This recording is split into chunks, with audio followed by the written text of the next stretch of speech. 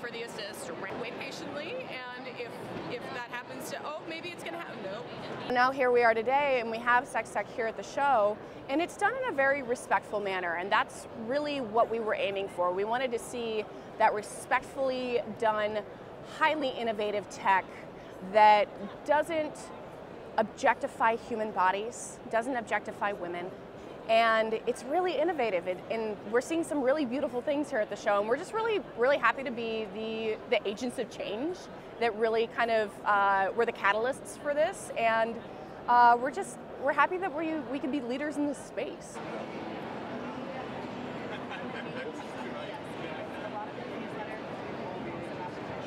whereas this would work for somebody else and so we're just trying to do a one size fits most um,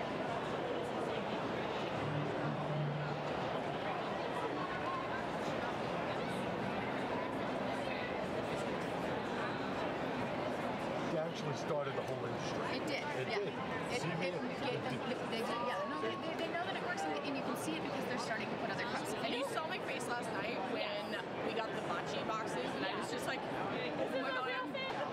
Yeah, no, and, it, and actually they both look like they're in like this wonderful conversation. The way that people approach sexual health technology has been has not changed for at least 80 years, and the way that we approach female sexuality hasn't changed for millennia.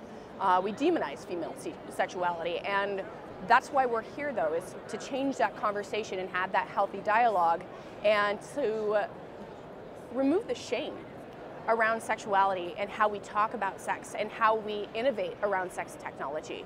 Uh, we haven't done much innovation in this space for the last 80 years, and I think that it's far past time for that to change. So everybody already is like their tampons, their tampons, the cups are completely different thing. So.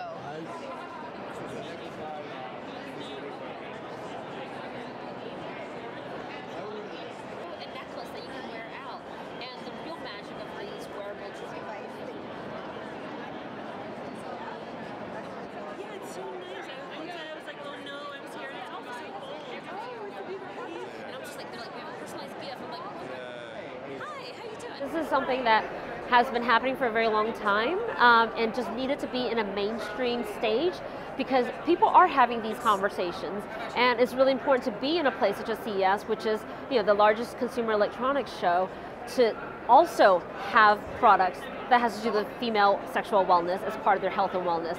Because we know that these products have been on the show floor for years, but they've been traditionally for men, like VR porn, silicone dolls, but uh, when it comes to women's vibrator, you know, they obviously had a bad reaction to it last year.